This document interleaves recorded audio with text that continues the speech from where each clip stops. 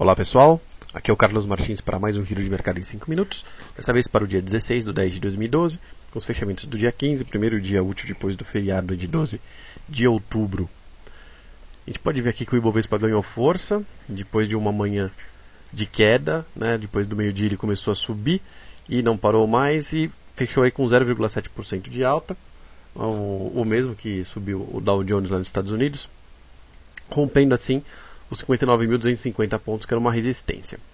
Próximos passos dele, testar essa linha aqui nos 60.800 pontos, ou seja, tentar passar para aquela região forte entre 60 e 61 mil pontos.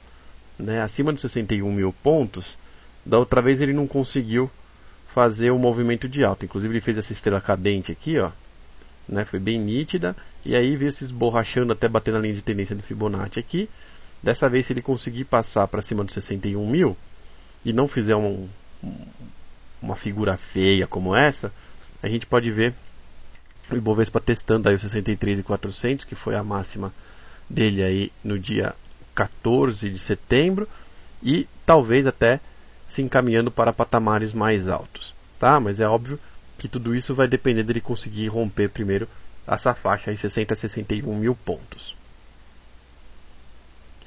A OGX, eu estou aqui no gráfico de 90 minutos, no é gráfico diário. Tá? A gente tá com, continua com a linha preta aqui do 5,91, para a gente mostrar aí a próxima resistência dela. E o 5,55 também, que é o próximo suporte. Ambos foram traçados no gráfico diário, estão aqui no gráfico de 90 minutos também. O que eu estou vendo aqui é um triângulo nível 1. Vou até tirar esse triângulo, outros triângulos daqui.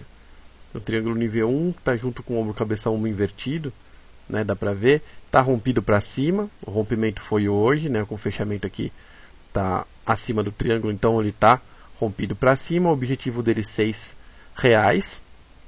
Para atingir esse objetivo ele vai ter que passar pelo 5,91, que é a resistência, e fechando lá para o 5,91 ele também rompe o ombro cabeça ombro invertido, que está apontando lá de volta para o 6,30. Tá? Então a OGX aí com viés de alta, é claro que ela se movimenta muito rápido nessa faixa aqui. Então é sempre bom fazer day trade com esse papel.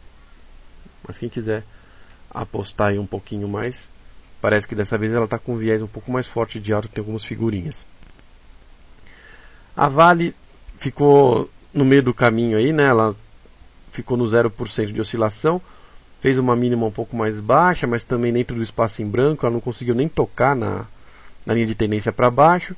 Ela tocou aí no 36 e 36, né? A máxima dela foi 36 e 34. Então ficou muito pertinho aí da resistência 36 e 36, mas também não, não chegou a passar nada. Então ela ficou nesse espacinho em branco dela. Acima do 36 e 36 ela ganha força para testar essa linha de tendência aqui do Fibonacci de baixa. Né? Como ela não está conseguindo passar, a linha vai caindo cada vez mais. Ela está inclinada para baixo cada dia que a Vale faz uma pipocada aqui embaixo do 3636, a linha de, diminui um pouco de patamar, agora já está no 3737, e aí amanhã vai ser outro valor, depois outro valor vai diminuindo cada vez mais até que talvez ela rompa as duas juntas, né? Mas se ela conseguir aí, ganhar um pouco de fôlego, ela vai testar essa linha. Passando dessa linha, ela tem aqui o 3788, passou do 3788, a gente já começa a chegar muito próximo da linha de pescoço desse ombro cabeça ombro grandão aqui invertido tá? que vai levar o preço lá para os 46 reais. Mas isso daí depende ainda de vários rompimentos para cima. Né? No horizonte de baixo, se ela perder essa linha de tendência aqui de, do Fibonacci Fan de baixo, ela tende a vir testar essa outra aqui. Como essa está muito longe, fica muito mais fácil ela ter, fechar o gap dos 34 e 12. Tá? Mas elas são os, os horizontes aí da Vale. A Vale também com viés de alta, aí ela está rompida para cima, não está rompida para baixo, que é uma grande coisa. Petrobras conseguiu dar uma pequena oscilada aí, subiu aí 1,3%, pulou para essa resistência aqui do 22,78, né, fechando 22,80. E agora ela tem o 23,20 diretamente acima dela.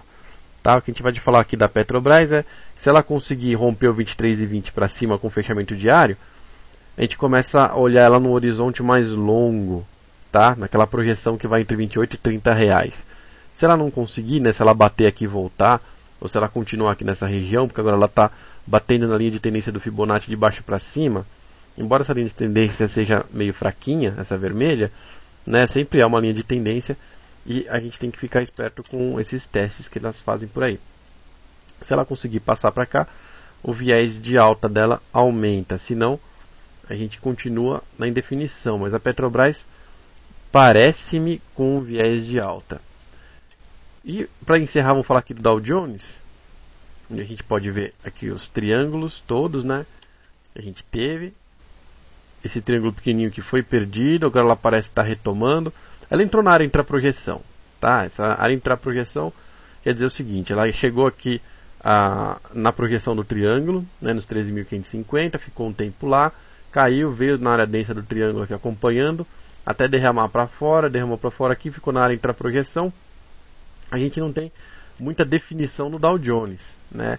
Esse que é o lance, os triângulos grandes que a gente está vendo, ó, todo mundo na área intra-projeção, ela perdeu os triângulos grandes não é um bom sinal, tá? E a gente está vendo ele na área de intraprojeção.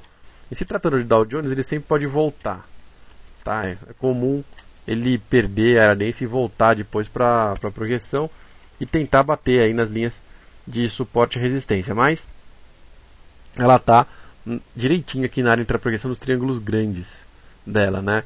Pode ser que não seja tão simples assim para o Dow Jones sair subindo a partir daqui. Tá? Isso aqui demonstra que pode ter alguma dificuldade do Dow Jones sair correndo para cima ou para baixo, né? Pode ser que ele fique aí mais um tempo na lenga-lenga. Ele ficou bastante tempo aqui já, né? Deu uma caidinha de leve, agora pode ser que ele fique mais um tempo. Agradeço muito pela presença de todos e até o próximo giro de mercado em 5 minutos.